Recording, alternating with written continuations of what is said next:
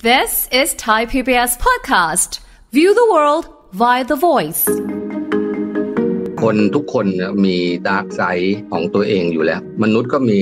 สัญชาตญาณเหมือนสัตว์นะจะมีพฤติกรรมการก่อความรุนแรงนะพวกนี้เป็นเรียกว่า superego เป็นสิ่งที่เหนือกว่าความต้องการที่เป็นสัญชาตญาณดิบนะของมนุษย์และสัตว์ทั่วไปอันนี้พอมีโลกเสมือนจริงเหมือนกับว่าสามารถปล่อย สัญชาตญาณดิบออกมา เช่นตัวอย่างหลายคนตอนเช้าทำงานดี ตอนเย็นเข้าไป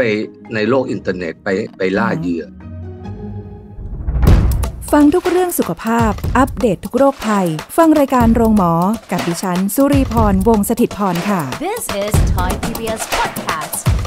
สวัสดีค่ะ คุณผู้ฟังคะขอต้อนรับเข้าสู่รายการโรงหมอทางไทย PBS Podcast ค่ะ คุณผู้ฟังคะวันนี้เราพบกันเช่นเคย สิ่งที่เราจะคุยกันในวันนี้นะคะ ก็เป็นความห่วงใยจากมหาวิทยาลัยมหิดลค่ะ ในเรื่องของ Metaverse นะคะ ช่วงที่ผ่านมาหลายคนอาจจะเคยได้ยินคำคำนี้ แต่ไม่รู้ว่ามันคืออะไร แต่ถ้าเกิดว่าถามเด็กยุคใหม่ๆ อาจจะเข้าใจกันได้ง่ายนะคะ ก็เหมือนกับเป็นเทคโนโลยีใหม่ ๆ แห่งโลกเสมือนจริง ที่เขาเรียกกันว่า Metaverse นั่นเอง แต่สิ่งที่น่าเป็นห่วงคือว่าเอ๊ะมัน เป็นเทคโนโลยีใหม่ๆ ถามว่ามันดีไหมก็อาจจะดี แต่ถ้าเกิดว่ามองอีกมุมหนึ่งอาจจะมีอะไรที่อาจจะไม่ค่อยดีอยู่แอบแฝงอยู่ก็ได้นะ เหมือนเป็นดาบสองคมนั่นแหละ ก็ทางมหาวิทยาลัยมหิดลก็เลยอยากจะให้หลายๆคนคุณผู้ฟังทุกท่านนะคะ ได้เฝ้าระวังผลกระทบ โดยเฉพาะกับเด็กแล้วก็กลุ่มเปราะบางนั่นเอง เดี๋ยววันนี้เราจะคุยกับรองศาสตราจารย์นายแพทย์อดิศักดิ์ผลิตผลการพิมพ์ ผู้อำนวยการสถาบันแห่งชาติ เพื่อการพัฒนาเด็กและครอบครัว มหาวิทยาลัยมหิดลค่ะ สวัสดีค่ะคุณหมอค่ะครับ สวัสดีครับ ค่ะ คุณหมอคะเนี่ยเรื่องนี้น่าสนใจมากเลยกับคำว่า Metaverse หลายคนอาจจะเคยได้ยินแต่ยังไม่ได้เข้าใจมากนัก ที่มันเป็นเหมือนโลกเสมือนที่อาจจะทำให้พฤติกรรมของมนุษย์นี่เปลี่ยนไปหลายอย่างเอ่อถามคุณหมออย่างนี้ค่ะว่า Metaverse เนี่ยมันจะเข้ามาสร้างความเปลี่ยนแปลงอะไรในรอบตัวเราบ้างอะคะคุณหมอคะคือจริงๆมันก็คือการที่จะพยายามทำให้โลก เสมือนจริงอะให้มันเหมือนจริงมากที่สุดอะนะฮะค่ะแล้วก็เชื่อมต่อความสามารถนี้อาจจะหมายถึงการเชื่อมต่อโลกเสมือนจริง ซึ่งมันอยู่แยกตามแอปพลิเคชันบ้างเครื่องมือสื่อสารของแต่ละคนบ้างเนี่ยให้มันต่อกันได้นะฮะเหมือนกับคนที่เล่นเกมทุกวันเนี้ยเราก็เริ่มต้นจากเกมสองมิติใช่ไหมเกมนิ่งๆ เล่นคนเดียวยิงเป็นตัวไดโวกินตัวจุดๆ อะไรเงี้ยค่ะนะฮะ ก็มากลายเป็นเกมที่มันแหมเหมือนสามมิติเลยเหมือนของจริงเลย แล้วก็ค่ะมาใส่แว่น VR อันนี้ก็โอ้โหเหมือนเราเข้าไปอยู่ในเกมเลยเสร็จแล้วก็เกมก็มาอยู่ในอินเทอร์เน็ตสามารถเล่นกับเพื่อนๆทั่วโลกได้อีกค่ะใช่ไหมคุยกันได้ต่อว่ากันได้ ด่ากันไปด่ากันมาระหว่างเล่นเกมได้ แข่งกันได้อย่างเงี้ยค่ะตอนนี้มันก็เหมือนกับเอาทั้งหมดเนี่ยไปปรากฏเหมือนโลกจริง ตัวเราก็เหมือนจะเข้าไปอยู่ในนั้นด้วยอืมนะฮะเพราะฉะนั้นมันเป็นลักษณะที่ เหมือนเอาคนน่ะเข้าไปอยู่ในโลกเสมือนจริงเลย แล้วก็เชื่อมต่อกันด้วยนะเออค่ะเชื่อมต่อกัน ก็หมายความว่าเราสามารถที่จะสื่อสารกันได้โดยผ่านการเอ่อโลกเสมือนจริง พวกเนี้ยไม่ว่าจะเป็นโปรแกรมอะไรแอปพลิเคชันอะไรก็ตาม เดี๋ยวนี้คือง่าย เราสามารถคุยได้กับคนที่เล่นในโปรแกรมเดียวกันแบบนี้ถูกไหมคะบนความรู้สึกเหมือนตัวเราเข้าไปอยู่ ในนั้นอืมนะแล้วก็การเชื่อมต่อกันมันก็ไม่เกิดการอยู่รวมกันของลักษณะของสังคมมนุษย์นะค่ะนะที่เราอยู่รวมกันมีชุมชน โลกเสมือนจริงเกิดขึ้นนะฮะค่ะที่สามารถเชื่อมต่อแล้วมีความรู้สึกเหมือนกับตัวจะเข้าไปอยู่ในนั้นจริงโอ้โหๆนะอาจจะมีตัวตนทดแทนของเราไปปรากฏอยู่เหมือนค่ะคล้ายกับตอนนี้ที่มีอวตารอยู่อย่างนี้ยอ๋อฮะค่ะฮะมันจะไม่ได้แค่มองเห็นอย่างเดียวแล้ว แต่ว่ามันตัวตนมันจะเข้าไปปรากฏ อยู่ในในนั้นด้วยฮะค่ะคุณแล้วหอความที่มันสามารถเชื่อมต่อกันได้เนี่ยอ๋อมันเลยเลยทำให้โลกเสมือนจริง ซึ่งอยู่แยกๆกันเหมือนกับรวมกันเป็นเป็นโลกเดียวได้ในอนาคตนี้ฟังดูแล้วมันก็ดูแปลกๆอยู่เหมือนกันนะคะ คุณหมอคือคือจริง ๆ เราก็ รู้เท่าทันเทคโนโลยีแหละสำหรับคนยุคใหม่คนรุ่นนี้ แต่ว่าในในความในมุมมองตัวเองกำลังรู้สึกว่าอย่างเราเนี่ยค่ะที่อยู่ในสังคมนี่คือสังคมจริง ๆ ที่เราอยู่ใช้ชีวิตอยู่นะคะ มีสัมพันธภาพมีเพื่อนฝูง มีการเข้ากลุ่ม มีไปเรียนไปทำกิจกรรมทำงานหรืออะไรก็แล้วแต่มันคือสังคมจริง ๆ แต่คำว่าสสังคมเสมือนจริงอย่างที่คุณหมอบอกว่าเอาแหละเหมือนเรามีตัวแทนเราเข้าไปอยู่ในนั้น แต่จริง ๆ แล้วตัวตนเราจริง ๆ อาจจะอยู่ที่ใดก็ได้ แต่แค่ว่าเราเข้าไปอยู่ในโลกเสมือนจริง ซึ่งเป็นการสร้างขึ้นมาแบบนั้นถูกไหมคะ ใช่ฮะ แล้วก็ถามว่ามันก็เป็นเทคโนโลยีนะอืมันมีประโยชน์ไหม มันคงต้องมีประโยชน์แน่ๆเลยอะอืมประโยชน์ก็อาจจะมีทั้งมากในบางเรื่องอะเนาะค่ะปัญหาคือว่ามันมีโทษด้วยไหมนะอย่างเงี้ย โทษมันก็เราจะเห็นจากยุคตั้งแต่ยุคมีคอมพิวเตอร์ ยุคถัดมามีอินเทอร์เน็ต นะ แล้วยุคถัดมาเนี่ยก็ก็จะมีมีเมตาเวิร์สนี่แหละค่ะนะครับนั้นเราจะเห็นประโยชน์มากมายที่เกิดขึ้นตลอดตลอดมาแล้วก็เห็นโทษค่ะคราวนี้มันโทษนี่เราก็เห็นมันเพิ่มมากขึ้นโดยยิ่งผลต่อเด็กนะฮะที่กำลังเจริญเติบโตเข้ามาเนี่ยค่ะนะแล้วก็เราก็เห็นการควบคุมที่มันทำได้ยากเนื่องจากประโยชน์มันเยอะไงก็จะไปควบคุมโทษจะทำได้ยากค่ะ นะแล้วมาจนถึงยุคเมตาเวิร์สเนี่ย ถ้ามันเป็นแบบเดียวกัน ประโยชน์ที่ตามมามากมายนะจะพลอยทำให้เราแบบไม่ต้องการการควบคุมบางประดะบางประการนะฮะทำให้โทษมันเป็นที่แบบยอมรับโดยทั่วกันอืนะมันก็จะเหมือนทุกวันนี้ที่เด็กไปติดเกมค่ะนะฮะเด็กใช้นะเออเออ YouTube บ้างอะไรบ้างนะฮะตั้งแต่ แรกเกิดเลยสามสี่เดือนเริ่มเลยจนกระทั่งเกิดลักษณะคล้ายออทิสติกเทียมเนี้ยค่ะเด็กอายุปเอ่อปห้ามหนึ่งมสองถูกล่วงละเมิดทางเพศ ผ่านการรู้จักกับคนแปลกหน้าค่ะนะฮะผ่านทางอินเทอร์เน็ตทางโซเชียลมีเดียค่ะนะมากมายเนี่ยนะฮะเนี่ยการควบคุมเหล่านี้มันควบคุมมากไม่ได้ เพราะว่าประโยชน์มันเยอะเหลือเกิน ไม่มีใครอยากให้ไปควบคุมอืจะมีผลกระทบต่อประโยชน์อย่างนี้นะ แล้วเกิดผลเสียที่แบบยอมรับกันไปโดยปริยายว่าช่างมันเถอะมันเกิดจากความเปราะบางของครอบครัวต่างหาก ไม่ได้เกิดจากเทคโนโลยีหรอกอ่านะฮะค่ะแต่ขณะเดียวกันมนุษย์อยู่กันรวมกันเป็นสังคมนะ เรามีระเบียบควบคุมในโลกของของความเป็นจริงค่ะแต่พอโลกเสมือนจริงเราไม่ควบคุมนะทำอะไรเราไม่ยอมก็ได้ควบคุมกันทีนี้ก็คือจะทำอะไรก็ได้ จะเป็นตัวตนแบบไหนก็ได้ มันเหมือนแบบเป็นเอ่อ มุมหนึ่งในในความรู้สึกของเราไหมคะ มุมมืดๆที่เราแบบสามารถที่จะแสดงออกมาในโลกเสมือนจริงได้อย่างเงี้ยค่ะ อันนั้นอะมันเป็นข้อดีอะของโลกเสมือนจริงอ๋อนะค่ะคนทุกคนเนี่ยมีดาร์กไซด์ของตัวเองอยู่แล้วใช่ไหมค่ะมนุษย์ก็มีสัญชาตญาณเหมือนสัตว์นะฮะจะมีสเอ่อพฤติกรรมนะไม่ว่าจะเป็นพฤติกรรมการก่อความรุนแรงนะฮะพฤติกรรม เอ่อ เอ่อหลายๆอย่างของมนุษย์เนี่ยเป็นพฤติกรรมที่ต้องควบคุมด้วยเอ่อสิ่งที่เราเรียกว่าเอ่อความถ้าเป็นเด็กเราเรียกว่า self-control การควบคุมตนเองนะฮะค่ะหรือว่าความรู้สึกเอ่อผิดชอบชั่วดี ความรู้สึกทางจริยธรรมศีลธรรมนะพวกนี้เป็นเป็นเรียกว่า superego เป็นสิ่งที่เหนือกว่าความต้องการที่เป็นสัญชาตญาณอืมดิบนะของมนุษย์และสัตว์ทั่วไปค่ะนะ อันนี้พอมีโลกเสมือนจริงเหมือนกับว่า สามารถปล่อยสัญชาตญาณดิบออกมานะเช่นตัวอย่างหลายคนตอนเช้าทำงานดีค่ะนะตอนเย็นเข้าไปในโลกอินเทอร์เน็ตไปไปล่าเหยื่อนะไปค่ะด่าคนอื่นนะโอ้ไปตัวเองอาจจะมีจุดด้อยนะ เป็นคนพิการบ้างเป็นคนอ่อนแอบ้างอะไรเงี้ย แต่พอค่ะเข้าไปในอินเทอร์เน็ตกลายเป็นผู้แข็งแรงไปนะอืมแล้วก็เข้าไปโจมตีค่ะคนต่างๆ นานานะฮะ คนขายของผิดกฎหมายนะฮะในโลกของความจริงเปิดหน้าร้านขายของตามระเบียบตามกฎหมายพอเข้าไปในอินเทอร์เน็ตรู้ว่าภาษีก็ไม่ต้องเสียนะฮะขายของผิดกฎหมายก็ไม่มีใครจับ ก็ไปขายของผิดกฎหมายข้างในกันนะฮะอย่างนี้เป็นต้นนะค่ะเพราะฉะนั้นมันมี dark side ของคนที่ต้องถูกควบคุม นี้ถ้าเราจะทำโลกเสมือนจริงกับโลกของความเป็นจริงให้เป็นโลกเดียวกัน เหมือน ตามลักษณะของงานด้านเมตาเวิร์สที่จะเกิดขึ้นอย่างเงี้ยค่ะอันนั้นมันก็ต้องหมายความว่ากฎระเบียบต่างๆ ในโลกของความเป็นจริงก็ต้องตามเข้าไปโอ้อยู่ในโลกเมตาเวิร์สด้วยได้อันนี้เหรอคะเราก็จะไม่ตามฮะเพราะว่าทุกคนได้ประโยชน์นะจากการอยู่ในโลกเสมือนจริงด้วยการแสดงออกซึ่งสัญชาสัญชาตญาณติดทั้งนั้น แล้วก็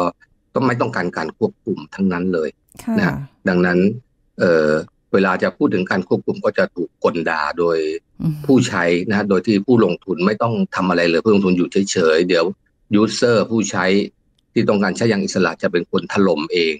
นะในที่สุดค่ะกฎระเบียบจะไม่เกิดขึ้น แล้วผู้ลงทุนก็จะนั่งยิ้ม แล้วก็ลงทุนต่อไป แล้วก็ได้ผลกำไรไปนะฮะมันก็จะเกิดโลกแบบนี้ขึ้นลองคิดดูการช้อปปิ้งซึ่งเราทุกวันนี้เราใช้ช้อปปิ้งออนไลน์เป็นหลักใช่แต่ต่อไปเราจะ เหมือนปรากฏตัวเดินอยู่ในห้างแหละค่ะและสามารถสั่งของได้สุดห้างนั้นอะ มันจะเป็นห้างอะไรก็ได้นะค่ะมันไม่ต้องมีใครมาควบคุมก็ได้นะเราก็ขายอะไรก็ได้นะเออเออนะครับพวกนี้มันจะทำได้นี่เป็นตัวอย่างนะค่ะนะแล้วก็ เออเด็กๆพ่อแม่เนี่ย อาจจะไม่ต้องเลี้ยงลูกนะค่ะด้วยตัวเองนะเออค่ะไปทำงานนะลูกก็ เออโผล่เข้าไปในเมตาเวิร์สนะนะในโลก เอ่อเนรมิตเนี่ยอันเนี้ยนะฮะแล้วก็ ได้เห็นพ่อแม่เห็น ตัวเขาแล้วก็เกิดการพูดคุยกันเหมือนจนอืมเสมือนจริงอะจนพ่อแม่เข้าใจว่าอันเนี้ยเป็นสิ่งที่ถูกต้องอ่าลูกก็ได้รับความใกล้ชิดกับพ่อแม่มากขึ้นน่ะนักลงทุนทั้งหลายก็อาจจะไปลงทุนตรงนั้นนะสร้างแอปพลิเคชันมากมาย สร้างอะไรมากมาย เชื่อมต่อกันจนเหมือนกับเป็นการเจริญเติบโตของลูกสามารถจะตื่นเช้ามาก็เจริญเติบโต อยู่ในนั้นได้โอ้นะเหมือนพ่อแม่อยู่ใกล้เลย แล้วก็ทุกคนก็ลงทุนไปในที่สุดเด็กก็จะได้ผลกระทบนะฮะเอ่อการเติบโตมาโดยที่ไม่ได้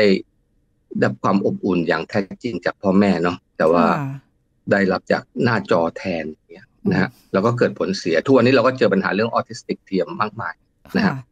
เออแต่ว่าในที่สุดก็หยุดไม่ได้ เพราะว่านักลงทุนก็ เห็นว่ามันมันไปต่อได้สามารถทำกำไรได้มากมายฮะและการเบรกจุดนั้นเช่น เด็กห้ามใช้เด็กอายุเท่าไหร่ห้ามใช้อืมเด็กอะไรออกมีอะไรห้ามใช้ค่ะอะไรเงี้ยก็จะถูกต่อต้านโดย user ค่ะนะซึ่งต้องการความอิสระในการใช้ไม่ต้องการการควบคุมเป็นต้นนะฮะก็เหมือนอินเทอร์เน็ตจนทุกวันเนี้ยค่ะนะเด็กเข้าไปใช้เปิดได้ทุกอายุนั่นแหละนะผู้ใหญ่เอ่ออยากจะดูภาพโป๊ภาพอะไรนะอืมดูได้ก่อนนะ ถ้าเด็กไม่อยากดูภาพ ภาพโป๊ต้องหลบออกนอกทางนะค่ะมันเราไม่ใช่เปิดออกมาเจออินเทอร์เน็ตแบบปกติ ที่เด็กดูได้ผู้ใหญ่ดูดีก่อน เราเออเจอ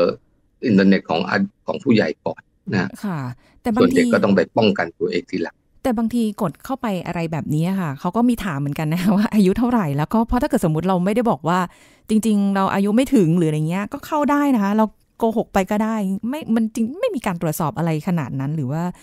ถูกไงห้ามอันนี้อะไรอันนี้ก็คือระบบที่มัน ออกแบบมาเพื่อให้เอ่อผู้ที่ต้องการใช้อิสระดูทุกอย่างเนี่ยอืมเกิดความสะดวกก่อนค่ะนะแต่ถ้าเราต้องการให้เด็กเกิดความสะดวกก่อน ก็คือเข้าไปถึงดูอะไรไม่ได้เลย ผู้ใหญ่ก็ดูไม่ได้เลย ยกเว้นว่าต้องผ่านด่านอะไรสักอย่างถึงจะไปดูได้ เช่น แสดงบัตรประชาชนค่ะนะลงทะเบียนรหัสบัตรประชาชน แล้วก็จากบัตรประชาชน จากเลขรหัสบัตรประชาชนนะถูกเอ่อ AI เป็นตัว ค้นหาเจอว่าเป็นคนอายุเท่าไหร่ค่ะนะฮะถึงจะเปิดอินเทอร์เน็ตนั้นได้นะฮะซึ่งไม่มีใครยอมทำทั้งนั้นนะฮะอืมกฎระเบียบลักษณะแบบเนี้ยเสนอออกมาเนี่ย ทุกค่ะคนไม่ยอมทั้งนั้นเพราะทุกคนไม่ยอมปรากฏตัวว่าเป็นผู้ใช้อะในอินเทอร์เน็ตนะฮะเมื่อค่ะเราบอกว่ามันเป็นอันตราย เพราะว่าเราชวนให้เด็กเข้ามาด้วย คุณครู ป.หนึ่งก็ยังเรียกให้เด็กมาส่งการบ้านนะอืมผ่าน Facebook ผ่านค่ะผ่านอีเมล นะให้ไปดูในอินเทอร์เน็ต ไปค้นคว้าในอินเทอร์เน็ต แต่เปิดมาถ้าเด็กสะกดสระโอปอปลาไม้ตรี เด็กก็เห็นทุกอย่างค่ะใช่เห็นทุกอย่างเลยแค่สามตัวนะฮะต่อให้เราบอกว่าเราตอนนี้คุมแล้วทางนู้นคุมทางนี้คุมยังคงเหมือนเดิมกดสามตัวยังคงเจอได้เจอได้เหมือนเดิมทุกวันนะมันไม่มีเอ่ออะไรดีขึ้นนะใช่อย่างนี้เป็นต้นนะค่ะใครเสนอ single gateway ใครเสนออะไรก็หาว่าเป็นการควบคุมเพื่อ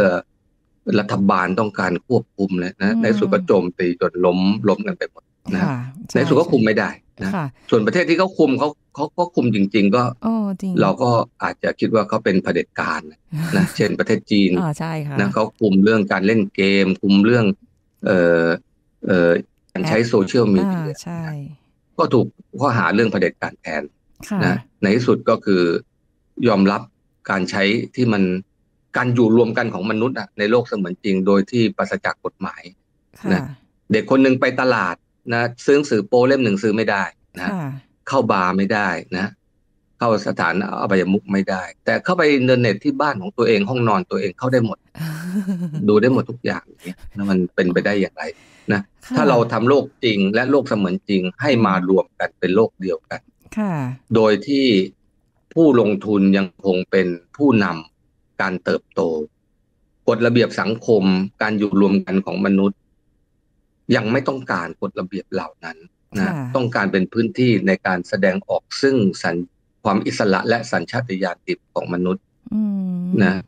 โรคนี้ก็จะเป็นโรคอันตรายสำหรับค่ะเด็กแล้วก็กลุ่มเปราะบางค่ะนะเนื่องจากกลุ่มเปราะบางก็จะมีภูมิต้านทานจากครอบครัว ในการป้องกันตัวเองเนี่ยน้อยค่ะนะฮะใช่ก็จะ ก็จะเกิดผลเสียมากขึ้นนะฮะทุกวันนี้เด็กผู้หญิงที่ถูกล่วงละเมิดทางเพศนะผู้ล่วงละเมิดทางเพศรู้จักกับตัวเด็กผ่านโซเชียลมีเดียค่ะกว่าร้อยละแปดสิบเก้าสิบนะโอ้เยอะนะมากแล้วก็เออเออขาดการควบคุมนะมเออด้วยด้วยระบบขาดการควบคุมนะค่ะและเมื่อเข้าสู่ยุคจักรวาลนฤมิตเนี่ย อันนี้ก็จะยิ่ง เอ่อไป กันใหญ่มากขึ้นนะฮะตัวเด็กเองก็ถูกชักชวนได้ง่ายขึ้นนะถูกสค่ะร้างอารมณ์ความต้องการความเอ่อถูกหลอกลวงนะฮะอย่างเอ่อซับซ้อนนะฮะได้มากขึ้นนะฮะแล้วก็อืมระเบียบต่างๆ ก็เออจะถูกต่อต้านนะฮะเพราะความเป็นอิสระมันจะสนุกมากขึ้นไงค่ะเออมันจะมีเอ่อ การแสดงอะไรได้หลายอย่างมากขึ้นนะเหมือนกับว่าการต่อต้านระเบียบที่จะมาควบคุมมันก็จะมากขึ้นด้วย เหมือนกับว่าสามารถที่จะส่งผลถึงพฤติกรรมได้เลยขนาดนั้นเลยใช่ไหมคะตัวถ้าเราเรียนรู้จากประสบการณ์โลกคอมพิวเตอร์กับโลกอินเทอร์เน็ตที่ผ่านมา จะเห็นว่ามันไม่ใช่เรื่องแบบความรู้ไม่รู้นะ ที่เราชอบใช้คำว่า IT literacy เด็กต้องรู้เขาเฮ้ยมันมันไม่ใช่รู้ไม่รู้เท่านั้นเองนะทุกวันนี้มันเปลี่ยนวิถีชีวิตเปลี่ยนวัฒนธรรมเปลี่ยน เอ่อการที่อืมเปลี่ยนวิถีชีวิตอะเช่น ตื่นเช้ามา ก็เข้าไปแล้ว แล้วก็ใช้ชีวิตพูดคุยอยู่ในนั้น แล้วก็ค่ะเอออันนี้มันจะเปลี่ยนทั้งพฤติกรรมการแสดงออกต่อสังคมมนุษย์ด้วย แล้วก็การการแสดงออกต่อสิ่งแวดล้อมรอบตัวของเขาด้วยอะนะค่ะเพราะฉะนั้นมันมันเราเรียกว่ามันเปลี่ยนระดับ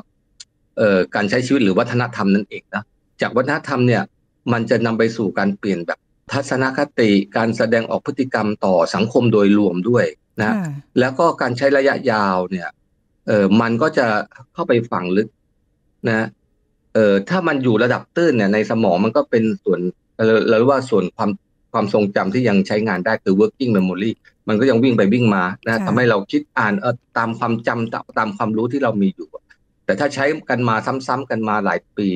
ค่ะนะ มันจะฝังอยู่ในความทรงจำที่เรานึกไม่ออกว่ามันมาจากไหนมันก็อยู่ในเราเรียกว่า implicit โอ้โห memory ก็คือ ฝังไปเป็นทัศนคติเป็นพฤติกรรมที่แสดงออกผมยกอย่างเช่น การเล่นเกมที่มีความรุนแรงค่ะนะฟันหัวผียิงขับรถชนคนแก่ได้ร้อยคะแนน ชนอ่าเด็กได้สามร้อยคะแนนอะไรเงี้ยนะค่ะอ่าฟันผีฟันไอ้นู่นไอ้นี่นะฮะเกมโหดมากเออค่ะครับจนโตไปนะบางทีมันอยู่ส่วนลึกๆ เรานึกไม่ออกว่าทำไมเราถึงตอบโต้คนรุนแรงขนาดนี้คนที่เราไม่พอใจนะค่ะที่รุนแรงขนาดนี้นะอืมถ้าเป็นโลกเมตาเวิร์สเนี่ย ถ้ามีเด็กคนหนึ่งเข้าไปอยู่ในนั้นตื่นเช้ามาก็เข้าไปอยู่ในนั้น แล้วในนั้นไม่ต้องมีระเบียบละไม่พอใจใครก็กระโดดชกได้เลยหรือค่ะฆ่าเอาไปฝังนะมีแอปพลิเคชันที่คนทำมากำไรเยอะเลยโหสนุกมากเลยนะสามารถฆ่าคนได้ในโลกเสมือนจริงเอาไปฝังเอาไปซ่อนหนีตำรวจได้อะไรได้ค่ะนะวันหนึ่งโผ ล่ออกมาที่โลกของความเป็นจริงนะอ่านั่นสิหลุดออกมาไปเอ่อใช้ชีวิตอะไรสักอย่างนะก็อาจจะมีพฤติกรรมบางครั้ง นะอืมมีพฤติกรรมที่แบบมันฝังอยู่ในตัวเขาอะเขาค่ะบางทีถึงตอนนั้นเขานึกไม่ออกว่าว่าทำไมทำไมเขาเป็นคนแบบนี้ แต่ว่าเขาตอบสนองทันทีโดยไม่ต้องคิดอะไรมาก โอ้ยฟังแล้วมันดูน่ากลัวค่ะคุณหมอ แล้วอย่างนี้เราจะทำอะไรกันได้บ้างอย่างเงี้ยค่ะ มันถ้าเกิดแบบเด็กเข้าไปอยู่ในโลกเสมือนจริงอะด้วยเฉพาะเด็กอะบางทีผู้ใหญ่อย่างเราอย่างเงี้ยค่ะ เล่นเกมหรืออะไรก็แล้วแต่ เราก็บางทีอินนะคะ อินกับสิ่งนั้นหรืออะไรก็แล้วแต่เนี่ย มันมันได้เหมือนกันขนาดผู้ใหญ่เด็กนี่แบบโอ้โหน่าเป็นห่วงจริงๆค่ะ คุณหมอคะทีนี้เราจะทำยังไงกันได้บ้างใช่ครับเพราะว่าเด็กนี่เออช่วงเวลาของการการเรียนรู้การการ ความรู้ดั้งเดิมที่มีอยู่ในสมองของเขาอะที่จะแยกแยะว่าอันนี้จินตนาการ อันนี้โลกของความเป็นจริง อันนี้ถูกต้องตามระเบียบสังคม อันนี้ไม่ถูกต้องเนี่ยค่ะผู้ใหญ่มีอยู่เดิมจากการเติบโตของเขาก่อนเข้าสู่โลกเมตาเวิร์สอย่างเนี้ยนะค่ะเพราะฉะนั้นเวลาเล่นเนี่ยเขาอาจจะสนุกกับอันนี้แต่รู้ว่ามันไม่จริงอ่านะแล้วก็แยกแยะสิ่งที่มันจะไปฝังความทรงจำเขาในในในส่วนลึกในระยะยาวได้ค่ะนะ แต่บางครั้งเล่นเป็นนานๆก็อาจจะเกิดขึ้นได้เช่นเดียวกันนะครับนะฮะโดยบางยิ่งเล่นแล้ว เป็นการเรียนรู้โดยมีอารมณ์ร่วมด้วย มันจะค่ะมันจะเกิดการฝังลึกของความทรงจำได้ง่ายกว่า แต่เด็กเนี่ยเขามาถึงสนุกเลยนะฮะไอเอ่อความรู้พื้นฐานที่ว่าเอ้ยตอนนี้สนุกอยู่นะ แต่ว่าค่ะไอ้ที่อย่างนี้มันแบบ เอ่อทำไม่ได้ของจริง เอ่อคือความรู้ในระดับที่อยู่ใน เอ่อที่เขาจับต้องได้คือ working memory ที่มาคอยแบบ เตือนขณะเล่นสนุกอยู่คอยเตือนตลอดว่าไอ้นี่ไม่จริงนี่ไม่จริงนี่ไม่จริงเนี่ยอันนี้มันเผอิญอาจจะไม่มีค่ะฮะยิ่งเล็ก ๆ ยิ่งไม่มีนั่นอะเพราะฉะนั้นก็สนุกไป สนุกไปค่ะเรื่อยนะสนุกไปเรื่อยก็จะไปฝังลงไปในความทรงจำระยะยาวได้นะค่ะอันนี้ก็จะเกิดพฤติกรรมในอนาคตซึ่งถึงตอนนั้นไม่รู้แล้วใครเป็นใครแล้วนะฮะค่ะทุกวันนี้อย่าลืมว่าทุกวันนี้นี่แม้โลกมนุษย์จะ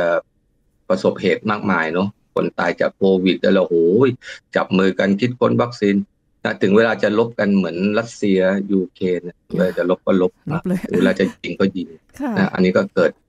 เกิดขึ้นได้อยู่แล้วมันเป็นสัญชาตญาณลึกๆของมนุษย์นะมนุษย์สังคมมนุษย์ประประประวัติศาสตร์ที่เราเรียนอะไทยพม่าอะไรเงี้ยค่ะนะก็ฆ่ากันทั้งนั้น เออยกยกพวกฆ่ากันทั้งนั้น นะพื้นที่เยอะแยะไปสมัยก่อนใช่ไหมป่าไม้ภูเขาเต็มไปหมดก็ยังอุตส่าห์มาทำลายเมืองกันฆ่ากันค่ะนะด้วยเหตุใดไม่ทราบได้ใช่ไหมฮะก็เป็นสัญชาตญาณของมัน ทั้งนั้นอืมที่จะทำกระทำความรุนแรงกันนะเพราะฉะนั้นการอยู่ร่วมกันของมนุษย์ก็คือต้องรู้จักการควบคุมกันค่ะโลกเสมือนจริงที่ต้องการความอิสระ แล้วก็ขัดระเบียบควบคุมเนี่ยมันก็จะไปปลุกเอาสัญชาตญาณค่ะต่างๆ ของมนุษย์ของสัตว์ทั้งหลายอะให้ปรากฏมาอืมอย่างนี้พ่อแม่ก็ต้องควบคุมดูแล แต่บางคนอาจจะบอกว่า โอ๊ยก็ต้องทำมาหากินไหมหรือว่าต้องเอ่อ ดูแลอย่างอื่นไหมอะไรเงี้ยถ้าจะให้มานั่งควบคุมกันตลอดเนี่ยมันคงจะเป็นไปได้ยากอะไรเงี้ยค่ะก็ถ้าแบบนี้ส่วนหนึ่งทำพ่อแม่ต้องเรียนรู้ด้วยถูกต้องอืมอะฮะค่ะถึงผลดีผลเสียนะแต่ ทั้งหมดนี้เราต้องยอมรับนะว่ามันเกิดขึ้นไม่ได้ มันเกิดขึ้นได้จากเอ่อนักวิทยาศาสตร์นะคนที่แบบคิดค้นมันขึ้นมาถูกไหมค่ะนะแล้วคนคิดคิดอย่างเดียวไม่ได้มันโตไม่ได้หรอกมันต้องมีนักลงทุนนะ ต้องมีเอ่อเงื่อนไขทางเศรษฐกิจเกิดขึ้น มันถึงเกิดการขยายตัวได้ค่ะนะเอ่อไม่ว่าอินเทอร์เน็ตหรือเมตาเวิร์สในยุคต่อไปเนี่ย ทั้งหมดเนี่ยอยู่ภายใต้การลงทุนค่ะสิ่งที่เราเรียกว่าเศรษฐกิจเราจะสังเกตว่ากสทชอะไรเงี้ยประมูลทีพวกนี้เป็นเป็นหมื่นหมื่นล้านค่ะนะดังนั้นมันอยู่ภายใต้เศรษฐกิจ การเติบโตทางเศรษฐกิจนะสิ่งที่น่าทำอาจจะไม่ใช่ความรู้พ่อแม่ แต่หมายว่าเอ่อผู้คิดค้นเนี่ยนะจะเป็นนักวิทยาศาสตร์ หรือว่านักลงทุน นะผู้ทั้งผู้คิดค้นและผู้ที่จะขยายผลเนี่ยค่ะจะต้องนั่งลงก่อน แล้วก็ดูแนวโน้มของการเติบโตก่อนว่า ความรู้ชิ้นเนี้ยมันจะโตไปถึงจุดไหน นะ และจะเกิดขึ้นอะไรกับคนบ้างอืมนะ ประโยชน์เนี่ย ทุกคนยอมรับหมดมันมีแน่ๆ มีมหาศาลแน่ๆนะค่ะแต่ว่าท่านต้องคิดว่าโทษอะไรที่จะตามมาบ้าง โดยเฉพาะยิ่งที่เกิดกับเด็กนะ และเกิดกับกลุ่มเปราะบางค่ะ ซึ่งหมายถึงผู้ใหญ่ถัดไปอีก 20 ปีนะ ถ้าผลเสียเกิดขึ้นกับเด็กและกลุ่มเปราะบางในยุคนี้ ก็จะเขาเหล่านั้นจะเป็นผู้ใหญ่ในอีก 20 ปีข้างหน้านะ มันก็จะกระทบต่อสังคมแน่ๆนะฮะอืมมันก็จะเป็นการพัฒนาที่ไม่ยั่งยืนค่ะดังนั้นเมื่อท่านกะคาดการณ์ได้ว่าจะมีโทษอะไร ก็ต้องมาดูกันว่าการเติบโตนั้นควรต้องมีข้อจำกัดอะไร อิสรภาพ เสรีภาพ ของการลงทุนการชักชวนให้ผู้บริโภค เปลี่ยนพฤติกรรมมานิยมการใช้เนี่ยต้องถูกจำกัดอยู่ที่จุดไหนด้วยอะไร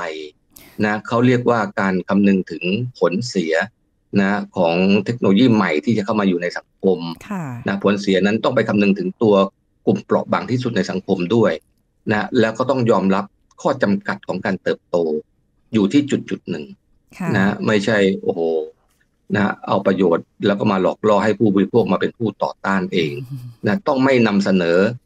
เอ่อประโยชน์ที่เกินข้อจำกัดก่อนนะค่ะไม่เช่นนั้นแล้วจะถึงจุดที่ผู้บริโภคเนี่ยเขานิยมไปแล้วเนี่ย มันจะต่อต้านมันจะกลับลำกันยากมากนะฮะเนื่องจากเป็นผู้บริโภคนะที่เป็นผู้ต่อต้านอันนี้จะยากมากแหละในการกลับลำอืมถ้างั้นก็แสดงว่าเอาแหละมันก็ต้องมาตั้งแต่ผู้ผลิต ผู้ที่คิดค้น แล้วก็รวมไปถึงกลุ่ครัมบนายทุนที่อาจจะต้องแบบอะมองสองด้านเพิ่มขึ้นมาอีกหน่อย ไม่ใช่แค่ว่าเรื่องของผลกำไรเพียงอย่างเดียว แต่ถ้าเกิดว่ามันใช่ครับมันอ่าสมมุติว่าอะมันมันมันต้องมีบ้างแหละที่มันจะมีผลกระทบอาจเขาอาจจะไม่ได้สามารถครอบคลุมได้ทั้งหมดด้วยในเรื่องของการค้าอย่างนี้ใช่ไหมคุณหมอ แต่ว่าสุดท้ายแล้วใช่เนี่ยครับคุณพ่อคุณแม่ผู้ปกครองเองก็จะต้องเป็นผู้ที่คัดกรองร่วมด้วย ในการที่จะอะเข้าไป ในโลกเสมือนจริงแบบนี้อย่างไรผมต้องดูแลมากยิ่งขึ้นเหมือนกัน ถูกถูกถูกต้องครับ คุณพ่อแม่ก็ต้องคำนึงก็เก่งแต่ว่าคุณพ่อแม่จะกลายเป็นผู้บริโภคที่นิยมไปก่อนนะลก่อองนก่อที่นจะลองมาก่อนถึงคุณลูกนะอ๋อโอเคใช่ในเมื่อตัวเองเป็นผู้นิยมไปแล้วเนี่ยอือฮึมักจะมักจะไม่ไปห้ามลูกอะค่ะนะเพราะตัวเองนิยมไปแล้วนะยกเว้นผู้ผลิตนะเขาค่ะเออเขารู้นะ เช่น คนผลิตเขารู้มันมีผลเสียคนลงทุนมันรู้ผลเสียเขาเขาห้ามลูกแต่แรกค่ะนะ แต่ว่าเขาไปเอากำไรไงเขาเลยเขาเลยเขาเลยไม่ห้ามอืมในเชิงพับลิกในเชิงสาธารณะเขาไม่พูดนะค่ะแต่ในครอบครัวเขาเขาป้องกันแต่แรกอ่านะก็แต่ว่าพ่อแม่ท่านนิยมไปก่อนแล้วกลายเป็นผู้นิยมไปแล้วเนี่ย มันจะยากมากนะ ที่ผู้ผู้นิยมเองจะมาปกป้องลูกหลานตัวเองเนี่ยนะค่ะเนื่องจากไปเห็นด้วยซะแล้วนะก็ต้องคือคือถ้าหากทุกวันเนี่ย เราจะเห็นเด็กที่มีภาวะออทิสติกเทียม นะจากการใช้เอ่อ YouTube ใช้โซเชียลมีเดียต่าง ๆ ใช้ entertain ต่างๆ ผ่านโทรศัพท์มือถือค่ะนะจำนวนมากนะเราเห็นเด็กทำเอ่อทะเลาะพ่อแม่กระทำความรุนแรงกับพ่อแม่จากการที่ถูกไปถูกห้ามเล่นเกมอะไรเงี้ยนะค่ะเห็นเด็กติดเกมเสียอนาคตอืมมากมายนะฮะค่ะเอ่ออันนี้ถ้าเกิดเหตุการณ์เหล่านี้นะผู้ผลิตนะไม่ว่าจะเป็นอินเทอร์เน็ตพรอไวเดอร์ค่ายต่างๆนะเจ้าของหรือว่าผู้ร่วมลงทุน ผู้ถือหุ้นนะ หรือว่าโทรศัพท์มือถือทุกค่ายเลยนะค่ะโทรศัพท์มือถือทุกยี่ห้อเลยนะนะ ถ้ารู้สึกสำนึกรู้สึกบาปนะ ว่าเขาเองเป็นผู้ส่งเครื่องมือเหล่านี้ไปที่ที่เด็กนะ ตอนพ่อแม่มาซื้อโทรศัพท์หรือว่ามาขอสัญญาณอินเทอร์เน็ตเขาไม่เคยถามเลยว่าพ่อแม่ไปใช้กับลูกหรือเปล่า แล้วก็ไม่เคยให้คำแนะนำค่ะนะไม่เคยเตือนพ่อแม่อือไม่เคยเซ็นสัญญากับพ่อแม่ว่า เฮ้ยห้ามไปใช้กับเด็กนะ ถ้าใช้กับเด็กต้อง control เวลานะค่ะเด็กเท่าไหร่ศูนย์ชั่วโมง เด็กเท่าไหร่หนึ่งชั่วโมงต่อวันนะค่ะนะไม่มีระบบนะเอ่อที่จะให้พ่อแม่ไปควบคุมนะ ไม่สนใจติดตามนะ ท่านรู้สึกว่าบาปนะ อันนั้นอะโลกเมตาเวิร์ส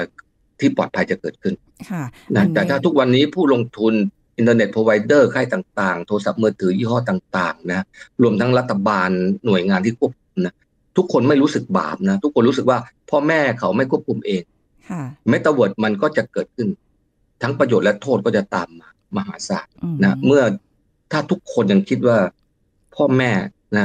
ต้องไปดูคนเดียว แล้วตัวเองก็ลงทุนต่อไปอัดกันต่อไปนะค้ากำไรกันต่อไปโหอันนี้ อันนี้เรียบร้อย อันนี้ไม่มีทางอันนี้พ่อแม่ยังไงก็ไม่มีทางสู้ได้ ค่ะ อันนี้ก็เป็นข้อกังวลนะคะ ซึ่งในในรายละเอียดอีกหลาย ๆ อย่างที่คงจะได้มีโอกาส เดี๋ยวจะได้คุยกับคุณหมอเพิ่มเติมด้วยเพราะว่า วันนี้ก็อืมอ่าเราได้รู้จักและมุมมองหรือว่าในกลุ่มเปราะบางที่มันอาจจะเกิดขึ้น แล้วก็ผลกระทบที่อาจจะเกิดกับเด็กในประโยชน์มันมี แต่อาจจะมีโทษที่มันอาจจะแฝงอะไรอยู่มากกว่านั้นก็ได้นะคะ คุยกันไปคุยกันมาคุณหมอค่ะวันนี้คงต้องคุยกันเพียงเท่านี้ก่อนนะคะแล้วเดี๋ยวโอกาสหน้าคงได้คุยกับคุณหมอเพิ่มเติมในรายละเอียดอื่น ๆ ด้วยนะคะ วันนี้ขอบคุณคุณหมอครับมากเลยค่ะครับสวัสดีค่ะสวัสดีค่ะ เอาละค่ะ คุณผู้ฟังคะก็หมดเวลาแล้วนะคะ พบกับรายการโรงหมอได้ใหม่ครั้งหน้าค่ะ ขอบคุณที่ติดตามรับฟังนะคะ วันนี้ลาไปก่อนสวัสดีค่ะ This is Thai PBS Podcast ภูมิคุ้มกันในร่างกายเป็นเกราะป้องกันเชื้อโรคได้อย่างดี แต่ประสิทธิภาพในการป้องกันในแต่ละคนไม่เท่ากัน ผู้ช่วยศาสตราจารย์ดรเอกราชบำรุงพืช มหาวิทยาลัยธุรกิจบัณฑิต มาบอกให้รู้ครับนะเรื่องของภูมิคุ้มกันเนี่ยเป็นเกราะที่สำคัญเลยนะค่ะอันนี้ใกล้ตัวเลยแม่บ้านอาจารย์เพิ่งเกิดเหตุการณ์สดๆร้อนๆอยู่ๆ เป็นค่ะไข้อ่าอุ๊ยแล้วก็มีเสมหะแล้วเขาก็เป็นแม่บ้านเนาะก็ทำความค่ะสะอาดแล้วก็ทำอาหงอาหาร ในบ้านก็อยู่กัน 3-4 คนค่ะนะครับ ก็กลายเป็นว่าเออมีแม่บ้านเป็นอยู่คนเดียวค่ะนะครับ ก็ตรวจเติดอะไรแล้วก็ไม่ได้โควิดหรอกะนะครับ แต่ว่ามีการติดเชื้อแล้วก็ท้องเสียด้วย ก็น่ามาจากอาหารค่ะแต่อาจารย์แล้วก็ภรรยาไม่ได้เป็นอะไร อ่าอืมกับพี่เลี้ยงลูกไม่ไม่เป็นอะไรที่กินเหมือนกันเห็นไหมอ๋อจะบ่งชี้ว่ากินเหมือนกันค่ะได้รับเชื้อเหมือนกัน แต่อาการหรือการเจ็บไข้ได้ป่วยต่างกันไม่เหมือนกัน ภูมิต้านทานไม่ถูเหมือกนกันต้อง ก็เลยว่า เอ้ยเนี่ยมันคือเรื่องของภูมิคุ้มกันจริงค่ะๆที่ทำให้เราไม่ป่วย แต่อีกคนนึงค่ะป่วยทั้งทั้งที่รับเชื้อโรคมาเหมือนกัน ภูมิคุ้มกันก็เลยเปรียบเสมือน เกราะคุ้มกันเป็นประการด่านแรกค่ะอ่าการได้รับเชื้อของเราเนี่ยบอกเลยว่าไม่รูจมูก ก็ปากของเราแค่นั้นเองครับหยิบไม่หายใจก็ทางเดินอาหารอะแล้วสองทางเดินเนี่ยต้องค่ะสตรองโอ้รับเชื้อเข้ามาแล้วจะป้องกันอย่างไรค่ะอ่ามันก็จะมีกระบวนการป้องกันแล้วก็กำจัดเชื้อของร่างกาย ซึ่งแต่ละคนประสิทธิภาพก็จะแตกต่างกัน มันถึงจะต้องมาแบบเฮ้ยดูแล อ่าเรื่องของอาหารการกินอย่างที่เราจะพูดคุยนี่แหละ ว่าจะค่ะเอ้ยเสริมภูมิแล้วก็ต้านโรคได้อย่างไร ทุกวันเนี้ยเรารับกระตังมาก็มีเชื้อโรคแล้ว เอาของอาหารที่เขาวางขายเนี่ยมันมีอยู่แล้วเชื้อก่อโรคค่ะแต่แค่ว่าเรามีภูมิคุ้มกันในการกำจัดเชื้อโรคเหล่านั้น เราจึงยังแข็งแรงดียังค่ะไม่เจ็บป่วยค่ะแล้วเราก็ต้องมีด่านป้องกันตัวเองให้เสริมภูมิคุ้มกันลดการติดเชื้อค่ะทั้งทางเดินหายใจอืมนะเจ้าโควิดร้ายหรือเชื้อโรคทั้งหลายแหล่แล้วก็ ทางเดินอาหารของเราค่ะนะให้มันแข็งแรงให้มันสตรองเราจะได้ลดการติดเชื้อลงค่ะเนาะหรือเชื้อเข้ามาปุ๊บเนี่ยเรากำจัดมันออกได้อ่าอืมก็จากการศึกษาวิจัยเนี่ยมีอาหารที่หลากหลาย ส่วนใหญ่ก็จะเป็นกลุ่มในพืชผักสมุนไพร This is Thai PBS Podcast. ติดตามรายการทางเว็บไซต์และแอปพลิเคชันของไทย PBS Podcast Spotify SoundCloud Google Podcast Apple Podcast และ YouTube Channel Thai PBS Podcast Thai PBS podcast. View the world via the voice.